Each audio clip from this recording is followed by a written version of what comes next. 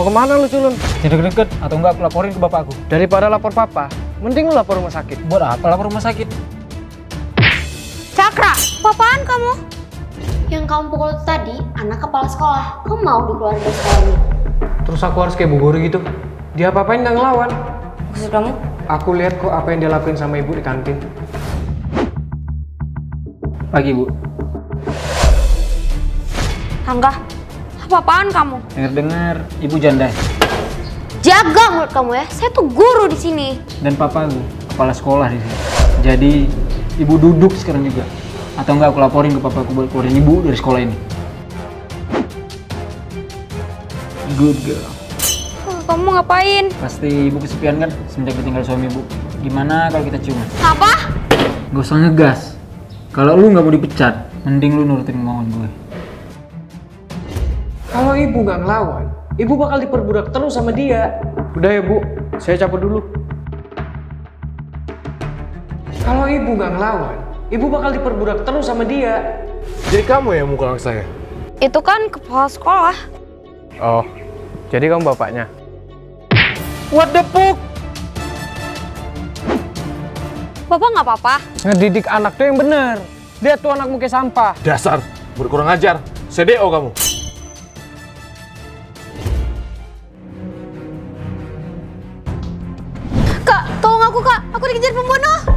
Apa?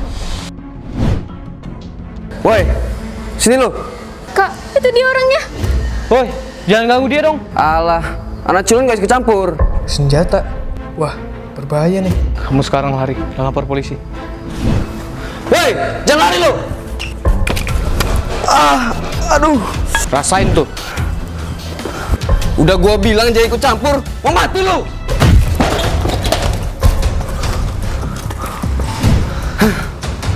Bisa tinju anak culun. Gue sebagai gaya lo. Kata siapa gue culun? Kalau gitu, ayo kita buktiin.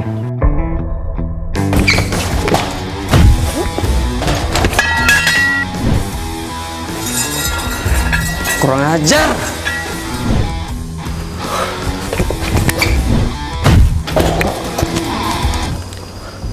Masih mau ngelawan? Sialan. Gak terima gue diginiin.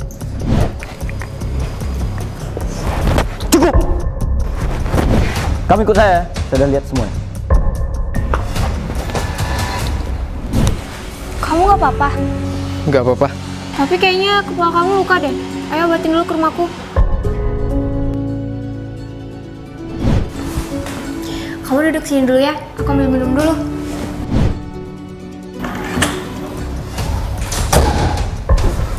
Lo kok bisa masuk? Eh, Papa udah pulang. Target aman di sini. Papa. Target. Iya, kami semua berkomplot untuk jebak kamu. Udah, sisanya biar Dara aja yang ngurus. Apa mau kalian? Kami cuma mau ngerampok orang yang nggak beruntung dan kaya yang bisa tertipu sama trik kami. Kalian yakin aku nggak beruntung?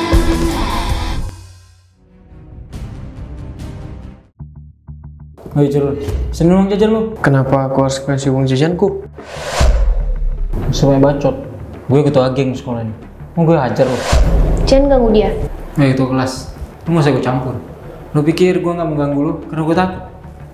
Gue cuma nggak mau berurusan sama cewek. Shut up. Kalau kamu masih gangguin murid lain, aku bakal laporin kamu ke guru. Aku punya bukti kalau kamu ngerokok di bangku sekolah. Senjata lu emang cuma itu doang kan? Kamu tenang aja ya, dia nggak bakal gangguin kamu lagi. Makasih ya ketua kelas. Ketua kelas, maaf ya semalam ngomong kasar sama kamu. Hah? Kesurupan apa kamu? Kok tiba-tiba jadi baik gini? Eh, mulai sekarang aku juga gak bakal gangguin murid lain lagi di sekolah ini. Nih, buat kamu aja. Makasih ya ketua kelas. Bener kan apa kataku? Dia nggak berani lagi gangguin kamu. Aku tahu kelemahannya. Dara kira ini berkat dia. Gue ketua geng. Mau apa lu? Gue cuma ngasih peringatan buat lu. Jangan kasarin ketua kelas. Lu siapa nyuruh gue? Habis lu. Not that easy bro. Ah, tangan gue patah. Besok lu minta maaf sama dia. Ampun ampun. Besok gue minta maaf.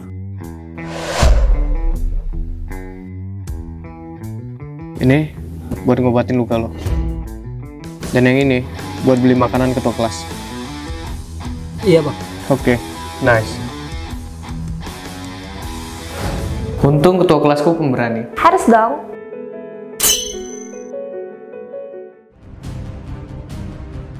Cakra, kenalin nih calon papa tiri kamu. Cakra. Riji. Sakit dong. Sorry, saya nggak tahu kamu selama itu. Ya udah, kalau gitu mama siapin makan dulu ya. Wih, apaan tuh? Mana?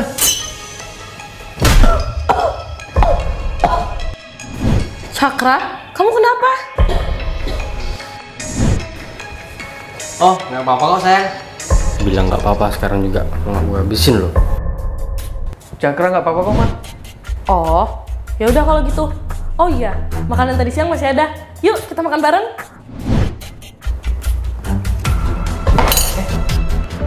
Waduh, sorry banget sayang. Jadi basah baju kamu. Hmm, gak apa-apa kok. Oh iya, kalian lanjut makan dulu ya. Mau mau ganti baju.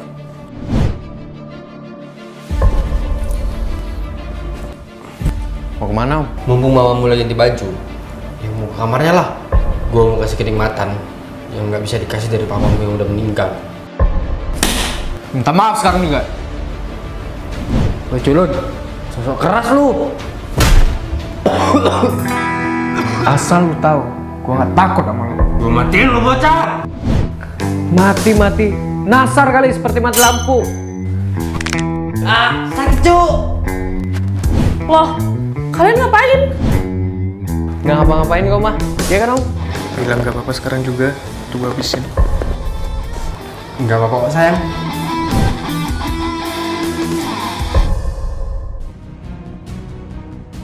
Anak-anak, selamat datang di tempat camping. Yuk, kita bangun tendanya. Malas banget bukan tenda. Kabur yuk. Enggak, ntar ketahuan sama ketua kelas. Awas aja kalau kalian macam-macam. Bu, saya mau ke toilet bu, sama Hans. Lah, kok aku? Di area camping, ke mana-mana jangan sendiri, ya kan bu? Ya udah udah, sana. Kita mau ke mana sih? Udah, kita sembunyi di sini aja. Tunggu sampai mereka selesai bikin tenda. Oh, jadi gitu. Eh, ketua kelas nih. Eh, kabur. Kita balik aja lah yuk. Ketua kelas pasti lagi ngadu ke guru. Kata siapa? Aku bakal patahin kaki kalian berdua, terus aku seret ke hadapan bu guru. Dasar para pemalas.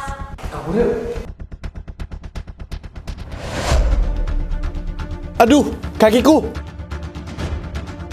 Aduh, ini kita di mana sih?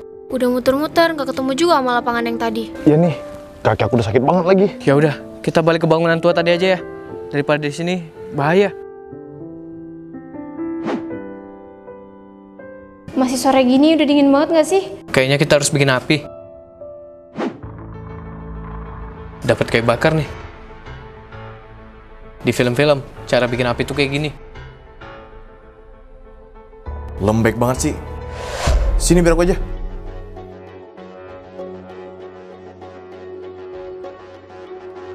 Hah? Nyerah deh. Ha, udahlah, sini biar aku aja. Sok kuat lu. Kenapa kamu bilang? Tangan kami aja udah mau patah, apalagi kamu. Aku nggak pakai cara kalian kok. Kan aku punya ini. Astaga, kok baru ngomong sih? Loh, siapa suruh kalian gak nanya? Astoge. Widih, dokter cantik. Godain ah.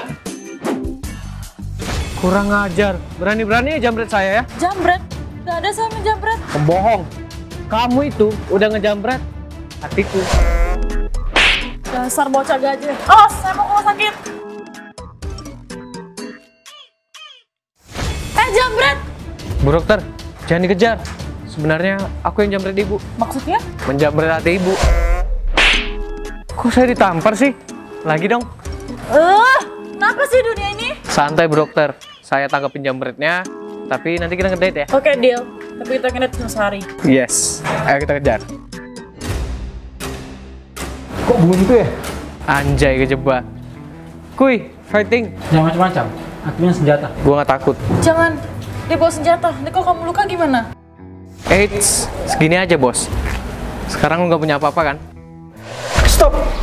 Apa? Kalau misalkan gue kalah, kan lo bisa balikin tas bu dokter. Habis itu, Ngeditnya cuma sehari. Iya, cuma sehari. Terus? Kalau misalkan lu biarin gue nampol lu sampai masuk rumah sakit, lumayan tuh. Lu bisa dirawat sama dokter cantik sama sebulan. Sekalian ngedate. Bener juga ya. Yaudah, tampol gue. Lah, si kocak.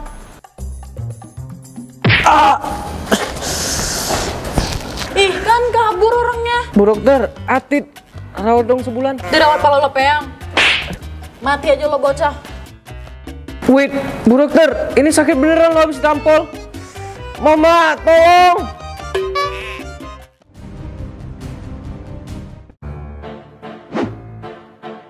Dasar murid nakal. Baru hari pertama sekolah udah telat. Kamu duduk di situ samping Noni. Ya namanya Noni mana? Coba angkat kaki dong. Cakra, itu yang namanya Noni. Jangan berdoa terus deh. Iya Bu Guru, marah-marah terus. Ntar cantiknya pudar loh. Pagi Budara, mau nanya dong. Bapak siapa? Saya gebetan Budara. Ini bapak. Dih, caper. Hai Bu Guru cantik. Anak baru, ngapain kamu duduk di sini? Gak sopan. Lah, kan kursinya kosong, Pak. Emang ada aturan murid gak boleh duduk sama guru? Saya sama Budara mau duduk berduaan. Bapak pernah dengar gak? Kalau orang duduk berduaan itu, selalu ada orang ketiga, setan. Kamu dong.